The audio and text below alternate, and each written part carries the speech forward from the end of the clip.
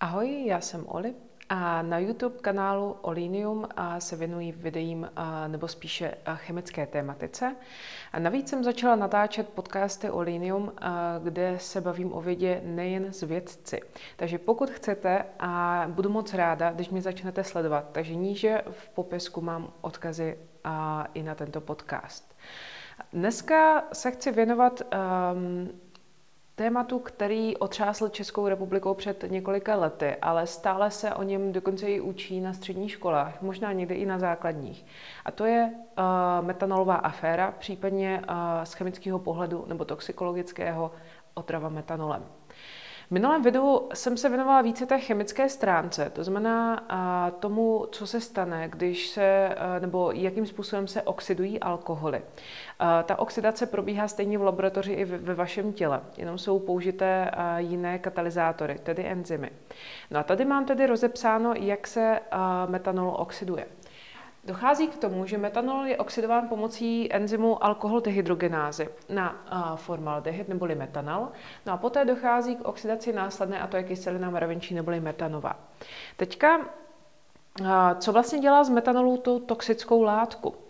Metanol samotný, když se vám dostane do krve, tak toxický není. To znamená, kdyby vám tam plul třeba, když to takhle řeknu, kdyby prostě zůstal v té krvi po několik, já nevím, třeba dnů, týdnů, ale zůstal by jako metanol, tak vám to nic neudělá.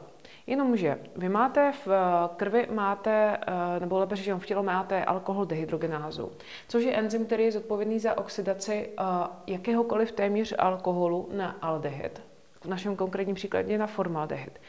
Formaldehyd má podle několika studií, které jsem četla, docela dost rychlou jakoby, tu přeměnu. To znamená, zůstává v krvi jenom v řádu minut ale poté se přeměňuje enzymem na, nebo v tu chvíli se přeměňuje enzymem na uh, kyselinu mravenčí. Enzym se jmenuje formaldehyd dehydrogenáza.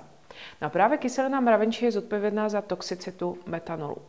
Jak se to děje? Uh, kyselina mravenčí je vlastně inhibitorem jednoho velmi důležitého enzymu v dýchacím řetězci. A až budu mít hotové video o uh, o dýchání, o budičném dýchání, tak ho tady určitě dám. Takže určitě uh, sledujte můj kanál, abyste ho potom uh, viděli. Ale dýchací řetězec je neskutečně důležitá část buněčného dýchání, který je zodpovědný za tvorbu ATP pro vaše buňky. No a teďka, když dojde k inhibici jednoho jediného enzymu v tom dýchacím řetězci, tak je to opravdu velký malér. Důvod je ten, že vaše buňka najednou nemá dostatek ATP a musí si vystačit s tím, že jí bude stačit ta glykolíza, kde vzniká jenom velmi malý počet ATP, a to konkrétně dvě na jednu glukózu. No problémem tedy uh, té situace, kdy se vám začne hromadit kyselina mravenčí, tak kyselina mravenčí, když se hromadí v té buňce nebo inhibuje a tím pádem se hromadí tam nejenom ta mravenčí, ale taktéž takzvaná kyselina mléčná neboli laktát, tak dochází takzvané metabolické acidóze, No a samozřejmě dochází k tomu, že to ničí tu buňku, protože když se vám mění pH buňce takovým výrazným způsobem, tak dochází k degradaci enzymu, No a tím pádem přestane fungovat a uh, může dojít až vlastně ke smrti té buňky. Uh, konkrétně u toho metanolu dochází první nebo jednou z prvních těch buněk, které jsou napadené, jsou uh, buňky oční sítnice. Konkrétně se to dostane až do toho zrakového nervu. Proto je známo, že při při otravě metanolem dochází ke slepotě.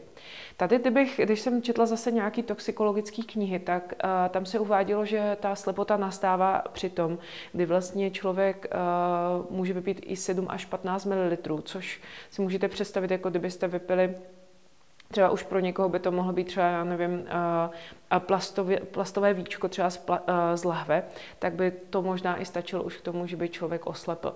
U některých lidí se ale uvádí, že třeba i 5 ml bylo pozorována už smrt, u některých je to 100 ml metanolu.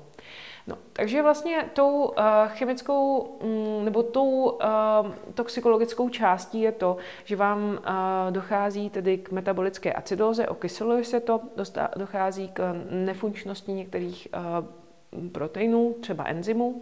No a poté vlastně dochází k nějakému mozkovému edému a následně i k smrti. K tomu bych řekla to, že je tady možná léčba. A ta začíná už od tom začátku, protože pokud vy nějakým způsobem jste schopni zaměstnat alkohol dehydrogenázu, tak ona nechává ten metanol v krvi a nevšímá si ho. Ono je totiž, uh, uh, víme tedy o tom, že alkohol dehydrogenáza metabolizuje ten metanol sedmkrát pomaleji než etanol. Takže proto vás učí, že první pomoc pro, při otravě metanolem je právě to, že se opijete etanolem. A když se, když se vlastně zjistilo, že mm, při té metanolové aféře, že skutečně u nějakého člověka došlo k otravě metanolu, že vypil ten alkohol, který v sobě měl metanol, tak uh, ta léčba probíhala tak, že se, já jsem si to tady napsala, že vlastně u 70-kilového člověka se uh, První dávka byla podána vlastně 135 ml 45% etanolu a každou hodinu mu přidávali 20 ml. Co se týče té nějakého měření, tak uh, pokud vlastně k tomu dochází, tak druhý den, 48 hodin poté, co jste vypili metanol a máte nasazenou tuhletu v vozovkách léčbu, tak uh, vlastně uh, vyloučíte močí zhruba 33% přítomného metanolu. A ještě 8 dní poté, co jste požili metanol, tak ještě vylučujete vlastně nějaké ty metabolity jako kyselina mravenčí tou močí. To znamená, že vlastně až týden ten pacient ležel v nemocnici a měl štěstí, že u něho byla známa ta otrava, že věděli skutečně skutečně, že se otrávil, tak týden ležel a byl neustále, uh, měl zhruba, to, to vychází asi na jednu promily, jestli se nemýlím, v krvi, tak vlastně ležel týden stále pod alkoholem. Ale to je právě důvod, že když vlastně zaměstnáte tu alkohol dehydrogenázu tím etanolem, tak ona se nebude věnovat tomu metanolu a tím pádem nevzniká velké množství těch metabolitů, které vás mohou, buď to vám mohou vést té slepotě, anebo k, to, k té uh, smrti. Druhý, druhá možnost, jak eh, léčit, eh, jak, eh, nebo jaké antidotum se používá na otravu metanolem, je tato látka, je to fomepizol, to je asi jeho asi komerční název bych řekla.